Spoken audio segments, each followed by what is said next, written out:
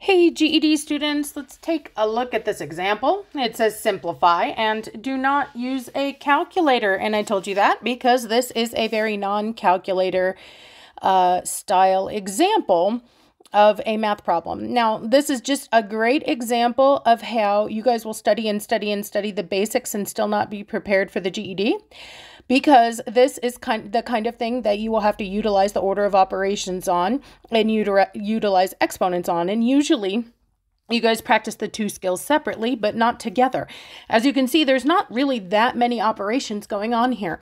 So when you graduate, when you're talking about order of operations, it's not that you should graduate into doing more and more and more and more operations in a problem. It's that you should graduate to doing higher level numbers and higher level operations. Uh, for example, just a little more sophisticated is what I mean by that. So, for example, of course, you can see that I'm not just adding, subtracting, multiplying, and dividing in this expression.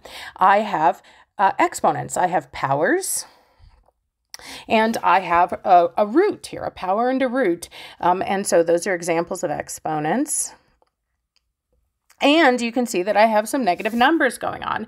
I'm taking the cubed, cubed root of a negative number. So, you know, just getting a little trickier, more sophisticated with my operations and my numbers, not just, you know, getting dozens of operations in a same, single example. So, with that in mind, let's hit up the order of operations, which says we should deal with any groupings, then any exponents, then multiplication and its inverse before we finally hit up addition and its inverse. So, multiplication and its inverse are multiplication division and addition and its inverse are addition subtraction.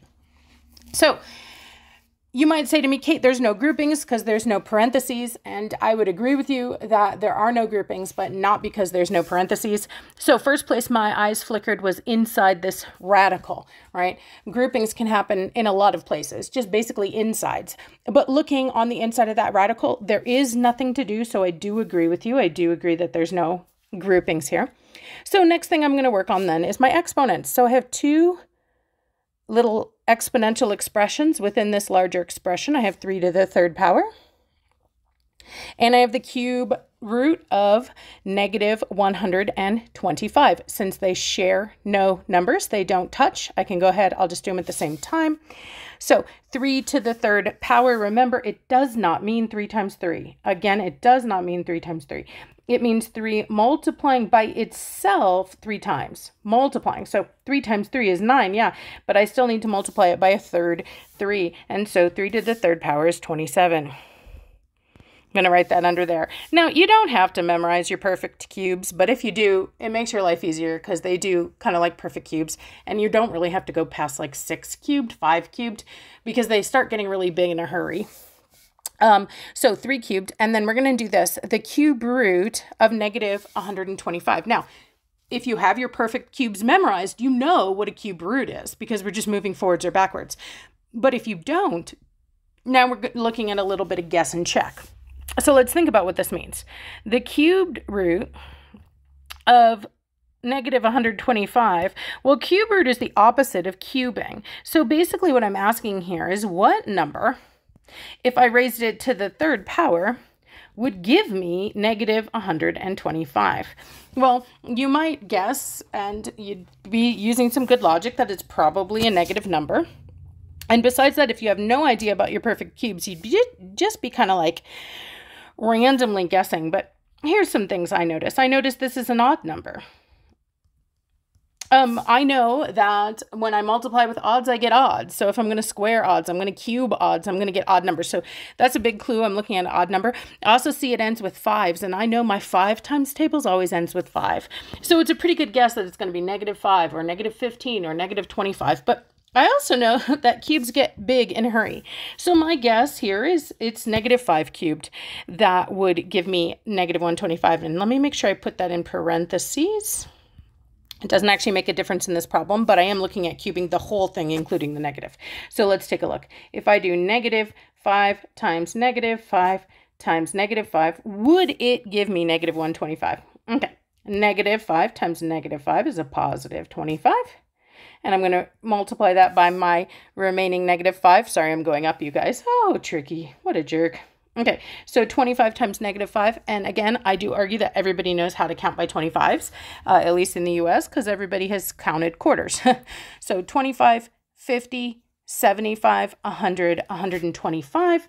And of course, if I just multiply with one negative, my answer is still negative. And so I was right. Now, careful. A lot of students, you know, I just talk so much, they go, oh, uh, negative 125, I'll write that right there.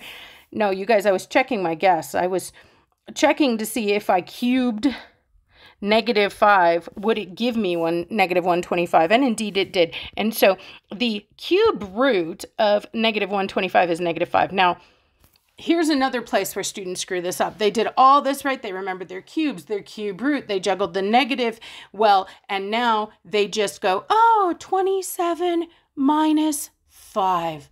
And then it's their secretarial skills biting them in the foot. What am I talking about? Well, we saw 3 to the third power simplified to 27. We replaced that part of the expression.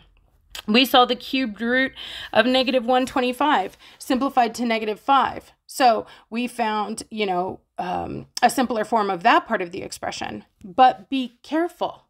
There's still a symbol we haven't used. Don't lose it, you guys. Don't let your secretarial skills drop, shoot you in the foot. If I haven't used that minus sign above there, it's still there. Now you might say, Kate, but I already have a negative sign. Yep, that was for the negative 125. And so what does this problem say now? It says 27 minus negative 5.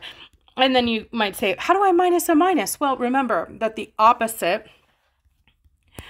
and the opposite, like if you do two opposites, it cancels each other out. Okay. So it's like taking away a charge. Like imagine your bank account was $27 and then the bank said, Hey, we're going to take away that $5 charge we charged you. Your bank account balance would actually go up. It would go up by $5. Okay, so subtracting a negative is the same thing as addition. It's equivalent. Okay, so 27 plus 5 then, uh, what do I get? 28, 29, 30, 31, 32. Looked like a simple little example. The order of operations wasn't so complex, but man, were we having to juggle some challenging exponent and negative concepts. Ah, woohoo, fun. All right, if you have any questions about this or any other GED math topic, be sure to drop it in the comments. Otherwise, happy learning.